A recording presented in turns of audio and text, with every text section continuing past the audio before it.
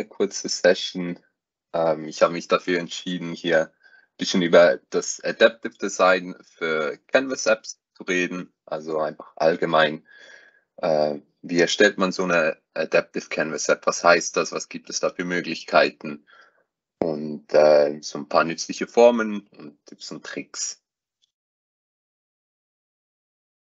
Genau, zu mir. Ich bin der Jan Friedrich. Ich bin Power Platform Consultant bei der Nova Capta. Ich bin äh, natürlich Teil von The Power Addicts, von Marcel, seiner Community. Und wie gesagt, also ich mache natürlich alles in der Power Plattform, aber am liebsten und hauptsächlich äh, Canvas Apps.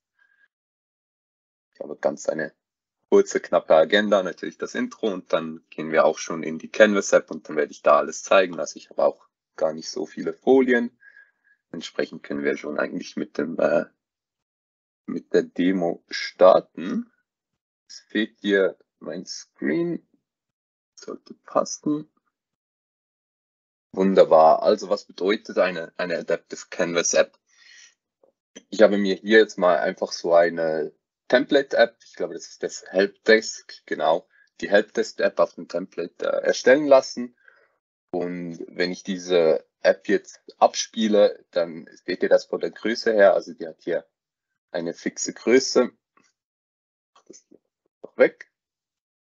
So, und wenn ich da, dieses Bild hier anpasse, also ich habe hier immer eine fixe Größe, ich kann das ein bisschen kleiner machen und das zentriert sich einfach immer wieder. Ich habe hier einfach eine fixe, eine fixe Breite, eine fixe, also nicht fix, aber immer die gleichen äh, Aspect Ratios sozusagen. Und jetzt habe ich hier in den Einstellungen der App habe ich nochmals die Möglichkeit, diese Sachen hier umzustellen. Ähm, wenn ich hier dieses Scale to Fit ausschalte, jetzt werdet ihr gleich schon einen ziemlichen Unterschied sehen.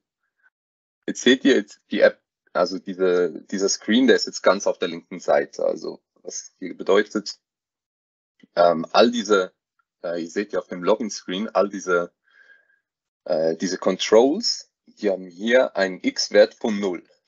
Also die meisten, genau, natürlich der hier nicht, der hat hier einen X-Wert von ein bisschen mehr, diese 77 Pixel. Aber diese Sachen hier haben halt einen X-Wert von 0. Und das heißt, da wir jetzt dieses äh, Log Aspect Ratio ausgeschaltet haben, können wir hier, also nutzt die App die ganze Breite aus und entsprechend ist das X hier ganz auf der linken Seite und nicht zentriert in der Mitte. Ähm, eigentlich natürlich cool, wir haben jetzt viel mehr Platz, aber auf der anderen Seite für diese App natürlich auch blöd, wenn das so aussieht. Und wie wir jetzt damit arbeiten können, machen wir am besten, zeige ich euch das kurz mal einfach in einer leeren App.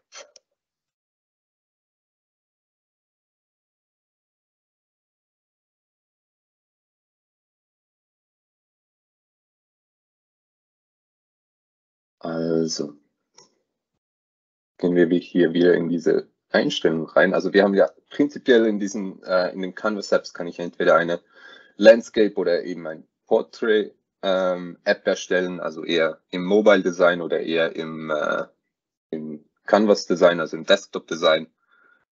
Und äh, hier kann ich auch nochmals die, die Verhältnisse des Screens einstellen. Ja, belasse das mal jetzt hier so und äh, schalte hier wieder das Scale to Fit aus. Und entsprechend als erstes zeige ich euch kurz mal die, ähm, die Size Breakpoints in der App. Also wir gehen auf die App. Wir haben hier das äh, Property Size Breakpoints. Was das hier bedeutet, das sind ähm, sozusagen, besser zeige ich das mal kurz mit einem Label. Also jeder Screen, der hat so eine, eine Screen Size. Also wenn ich hier Punkt Size, also das ist hier die, die Size des Screens, die ist momentan auf 4. Ähm, das bedeutet, ich habe in der App habe ich Size Breakpoints. Also das heißt, wenn ich eine Breite, ähm, wenn ich diese App jetzt mit dem Desktop starte, habe ich hier ja jetzt eine Breite von meinem ganzen Desktop, also irgendwie 1800 oder so oder was auch immer Pixel. Und hier in den, auf der App, auf den Size Breakpoints, habe ich 0 bis, äh, habe ich 600, 900, 1200. Also das heißt, wenn ich mit einem Gerät bin, das eine Breite von 0 bis 600 hat, dann bin ich im Size Breakpoint 1. Wenn ich habe ein Gerät von 600 bis 900, 2, 900 bis 1200 auf der Stufe 3 und alles breiter als 1200 habe ich hier die Size Breakpoint 4. Kann ich das auch nochmals besser zeigen. Also wenn wir hier, ich hoffe, ihr kennt das, also die Developer Tools im Browser habe ich hier die Möglichkeit, ähm, die solche Devices zu simulieren. Und ihr seht das jetzt hier schon. Also wenn ich mal auf ein iPhone gehen würde, das hier nur eine Width, also eine Breite von 400 hat, dann seht ihr das Label, das stellt gleich, äh, also das erkennt, wir sind momentan im Size Breakpoint 1, also auf der kleinsten Größe, 0 bis 600.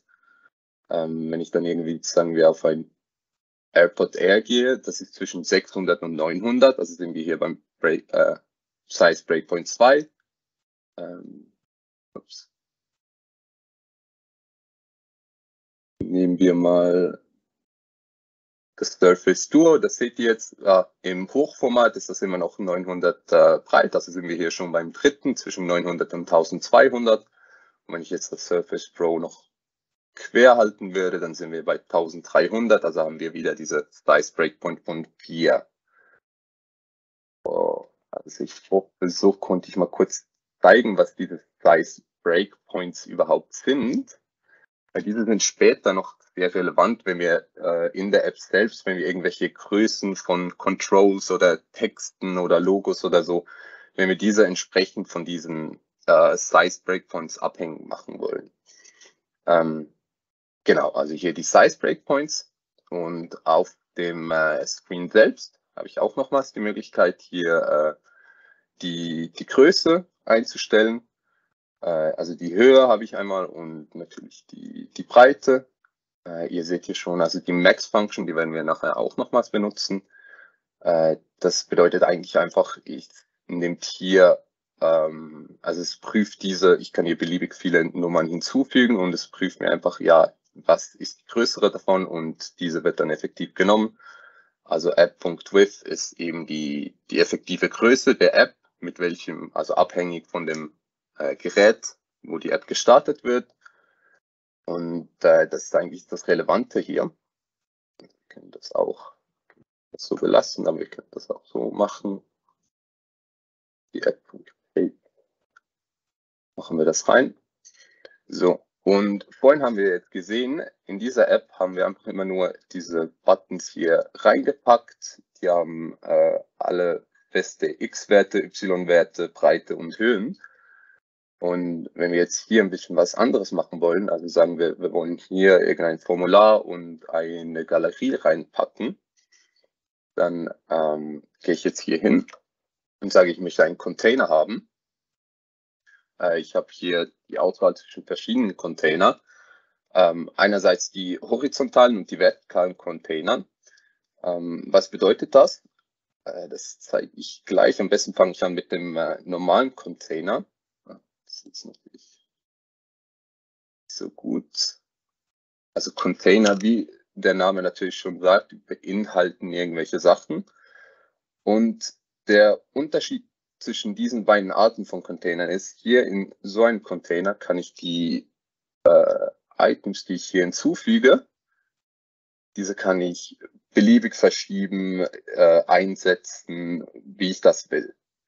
Ähm, ich kann sie natürlich eben nicht aus dem Container herausziehen. Das ist ja der Sinn davon. Die sind in diesem Container und die bewegen sich dann auch mit mit diesem Container. Und hier habe ich einen, ähm, hier habe ich die Auswahl zwischen einem horizontalen und einem vertikalen Container.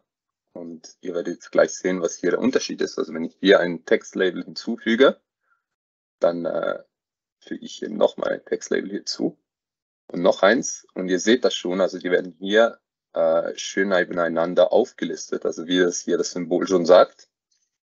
Und wie ich das jetzt für meine, äh, für meinen Vorteil nutzen kann, ganz einfach. Also ich nehme jetzt hier mal kurz all die Label hier raus. Oder, ja, die brauche ich nicht mehr. Ähm, und jetzt habe ich hier diesen Container. Und am besten fangen wir, genau, wir fangen jetzt hier ganz oben schon an. Dieser Container, der sollte ja, der sollte immer, x ist ja immer 0, also der soll immer bei 0 starten, y auch. Die Höhe dieses Containers, die setzen wir nicht fest mit einer äh, Zahl, sondern wir machen jetzt hier parent.bits, äh, sorry, wir sind bei der Weite.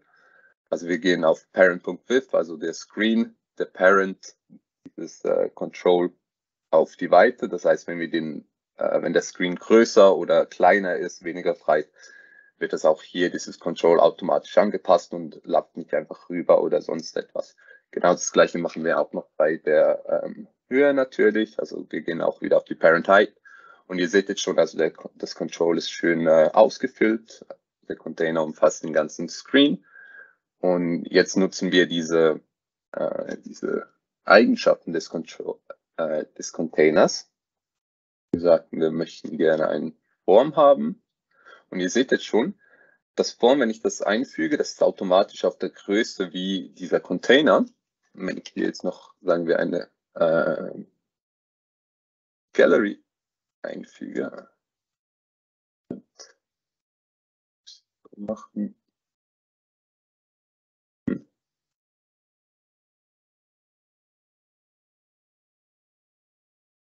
So, ah, so jetzt. Genau. Also jetzt seht ihr hier, äh, diese beiden, die Forms und die Gallery, die haben sich gleich schon nebeneinander platziert.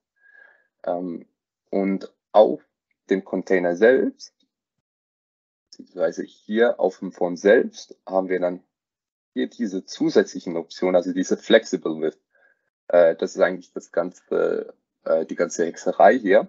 Also ich kann hier einstellen, ja, wie viele oder wie groß soll der Anteil des Forms aus dieser, ähm, aus der ganzen Größe sein. Also ich habe hier jetzt zwei äh, Elemente in diesem Container.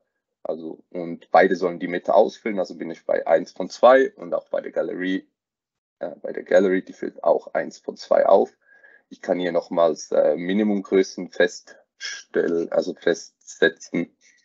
Äh, das brauchen wir jetzt hier aber nicht. Aber ich kann jetzt zum Beispiel auch sagen, ja, die Gallery die möchte ich vor dem Forms haben.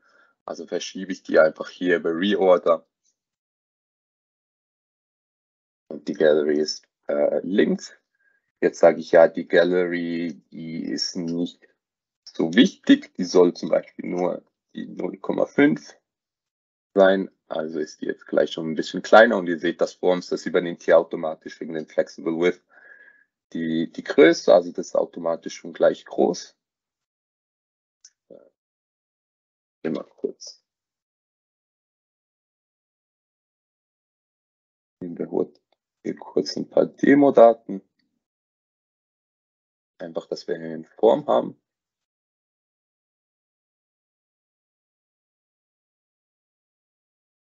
Genau das gleiche machen wir auch noch bei der Galerie. Kann ich euch das schon ein erstes Mal zeigen. Also wir haben jetzt hier ja auf dem Screen nur ein Control in der Gallery, eine Form. Und wie ihr jetzt schon seht, wenn ich das hier so auf die ganze, also wenn ich die Größe ein bisschen anpasse und alles, also wir sehen schon mal auf die Breite, es geht mit. Also es funktioniert, wenn ich das kleiner mache, größer mache, breiter.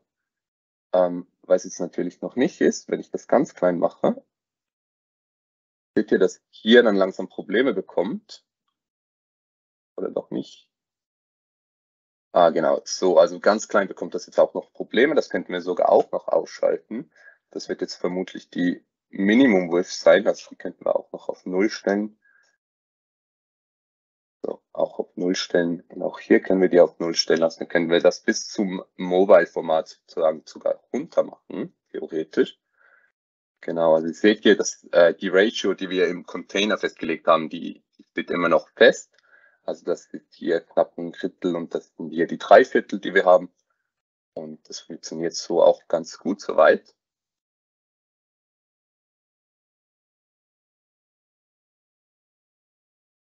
Dann gehen wir jetzt aber, also gehen wir noch mal kurz zurück. Also hier machen wir kurz. Das ist New Dann sehen wir das ein bisschen besser. So. Also ihr seht das hier schon, wie sich jetzt das Form verhält. Also das ist auch schon eigentlich relativ gut. Wenn wir das kleiner machen, füllt sich das automatisch auf. Es geht untereinander.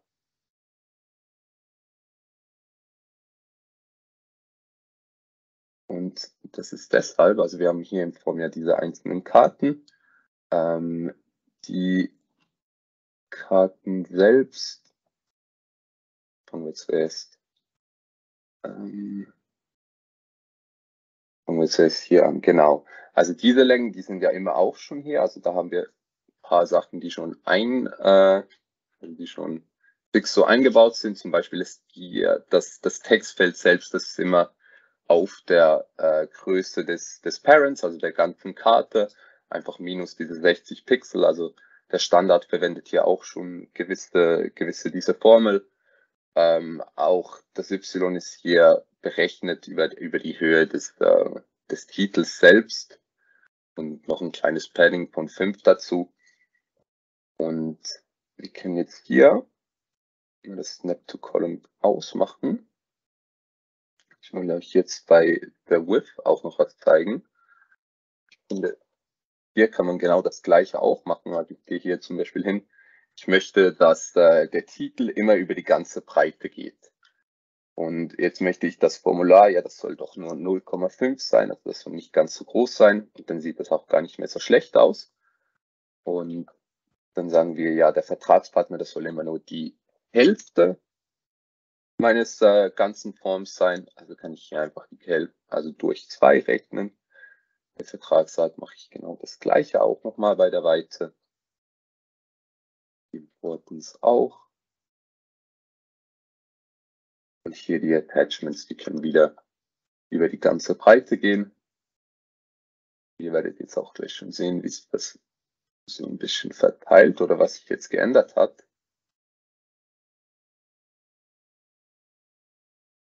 Und zum Beispiel diese zwei sind immer auf der gleichen Seite. Also ich habe die jetzt auch, wenn ähm, das, der Screen extrem klein wird, diese zwei habe ich immer auf der gleichen Höhe, falls ich das unbedingt will. In diesem Fall jetzt natürlich nicht so eine coole Sache, weil ich dann gar nicht mehr erkenne, was hier steht.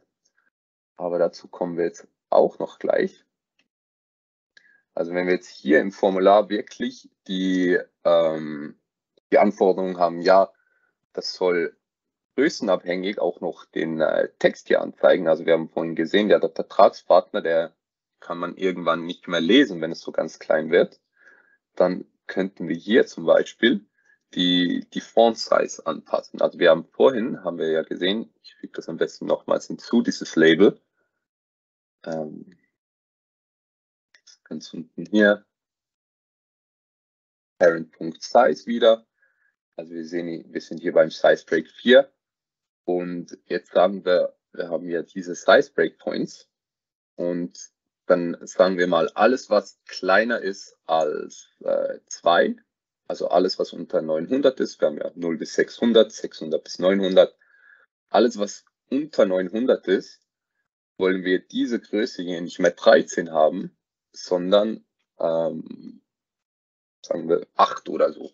Und dann kann ich hier eben mit diesen äh, Size Breakpoints kann ich ganz einfach äh, mit der ifs-Formel kann ich mir hier etwas zusammenbauen. Also zum Beispiel if, jetzt geben wir screen1.size äh, is equal to, oder wir machen hier, was haben wir gesagt, größer, nee, kleiner als 2.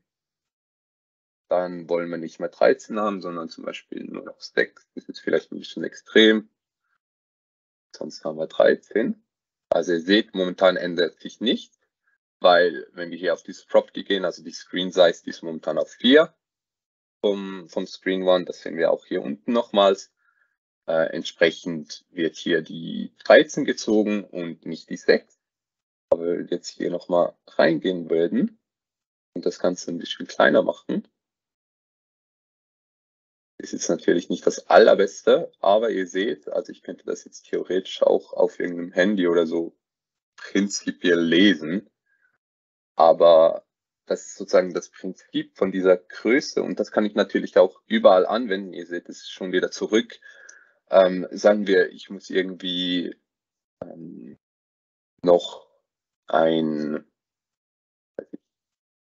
äh, ein Logo hinzufügen. Also ich habe hier oben ein Icon. Ist natürlich nicht so cool, dass ich das alles wieder ohne Container mache. Wir können hier zum Beispiel einen Container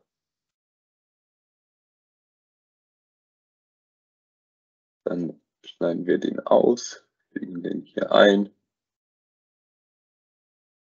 Jetzt verschachten wir gleich schon die Container. Einen Moment.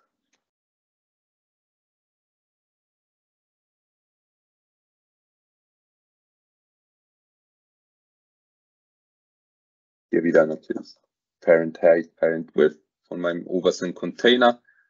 Äh, hier habe ich jetzt einen ähm, horizontalen Container. Das ist deshalb, weil ich jetzt hier nochmals ein, äh, einen vertikalen habe ich hier, weil ich hier jetzt zwei horizontale möchte. Und diesen mache ich jetzt ganz klein. Der soll nur 0,1 äh, der ganzen Fläche übernehmen. Und der soll bei mir jetzt so als äh, Header funktionieren. Also dann könnte ich jetzt natürlich auch Container Header oder so umbenennen, dass ich das auch weiß. Und das wäre der Container Main dann ist es auch ein bisschen klar, äh, klarer beschrieben. Und hier kann ich jetzt diese, äh, Icon auch wieder reinmachen. Äh, ich, Entschuldigung, natürlich nicht hier, sondern da muss ich den Container Header anwählen. Und kann hier das Icon einfügen. Genau das gleiche mit dem Label, dass es nicht mehr einfach da unten selber rumschwirrt. Kann ich auch wieder den Container Header anwählen, das reinpasten.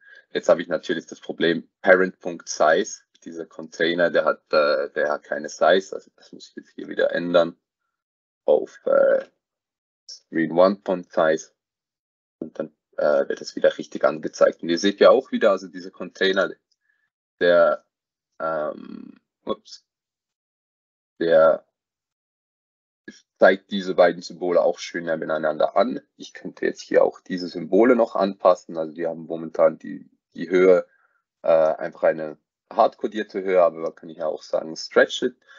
Also ich möchte, dass die immer so hoch sind. Ich möchte, dass die immer so hoch sind wie der ganze Container selbst, also der Parent. Und dann kann ich hier, ihr seht das, wir haben noch keine Flexible Width eingeschaltet. Das kann ich hier wieder einschalten. Das ist prinzipiell wieder auf 1 von 2. Genau das gleiche Prinzip hier unten. Und bei dem Icon ist natürlich nicht so cool.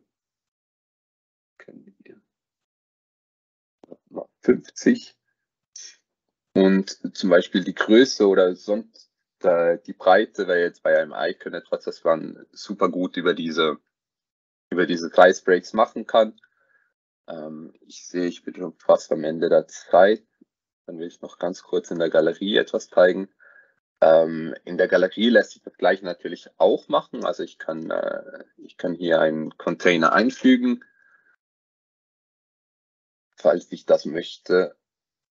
Hier ist der Unterschied, dass ich nicht die Parent Page äh, gehen kann, äh, sondern ich muss Template hide.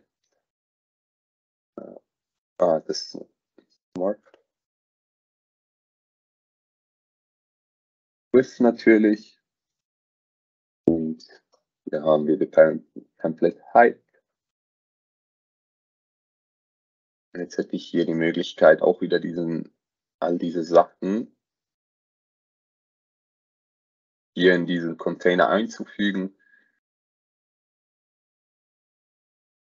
Muss dann halt einfach nochmals mit der, ähm, mit den, mit den Bezeichnungen über den Parent das ist das gleiche wie vorhin. Also diese Container können halt nicht als Parent äh, angewählt werden oder hier natürlich ist der Parent ein Container und dann funktioniert das nicht, das Select in einer Gallery. Äh, aber ich denke, das Prinzip ist ziemlich klar. Also so könnte ich jetzt hier auch wieder schön nebeneinander diese, ähm, diese Textboxen aufbauen, dass die mal eine äh, fixe Länge haben. Ja, ist jetzt natürlich nicht so super schön, aber ich denke, das sollte mal so prinzipiell ein, zwei Sachen über Adaptive Design gezeigt haben. Sind soweit irgendwelche Fragen?